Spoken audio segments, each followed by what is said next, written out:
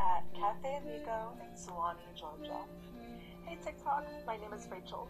I'm spending this summer trying as many coffee shops as I can in the Atlanta area to find the best study spaces as I prepare to apply for my dream MBA program. I'm super excited because today my boyfriend Evan is joining me. It's a holiday weekend, so I wanted to spend some good quality time together while also still being productive, and I think the coffee shop we picked is going to be.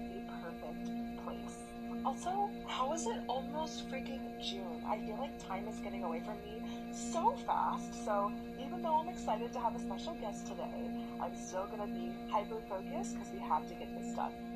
Anyways, let's go! And we made it to Cafe Amigo.